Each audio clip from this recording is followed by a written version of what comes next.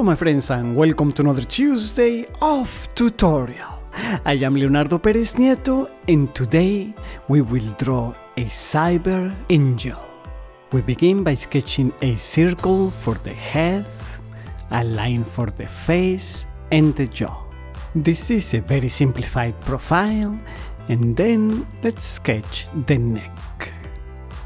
After that we can mark the upper torso indicate the position of the knee and then draw the leg which is bent. By marking the knee first, which is the point closest to the face, it is easier to keep the proportions right.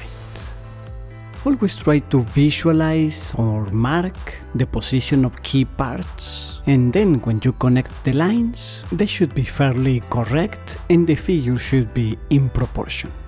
I check that the lower legs measure the same the one to the other.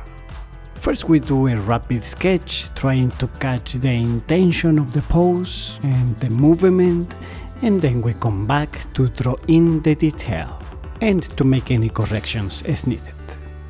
For a face in profile, I usually start with a circle for the cranium and a line for the face, which is like a simplified version of the Loomis method and then we can draw in the features.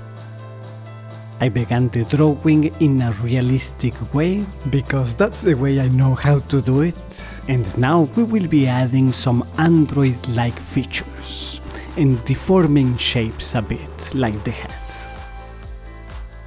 That's an energy circle up here and let's section the neck so it can have mobility. And we can do a similar thing on the lower part of the torso. Of course the upper part of the torso is pretty stiff, pretty solid. Let's make another circle here, bigger for the leg, then we break down the knee so that the leg can bend, and the little circle for the ankle.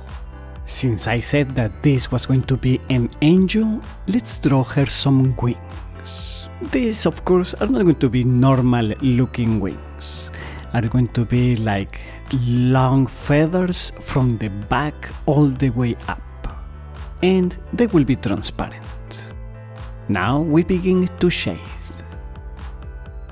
And by the way, I'm using the Tutto3 mechanical pencil.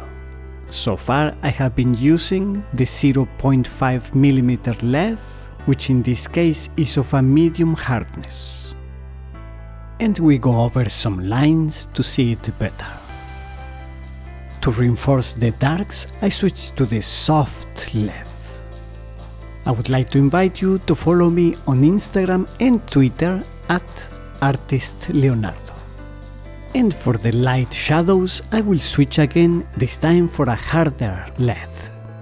The list of materials that I am using is in the description below the video. And if you made it all the way to this point, I would love to know it. Please in the comments write me the secret code, ready for landing. Very good, excelente, it's ready. If you enjoyed it, please give it a like, subscribe to Fine Art Tips if you haven't done so already, click on the little bell to get notifications of new videos, and I will see you with more creations on Tuesday.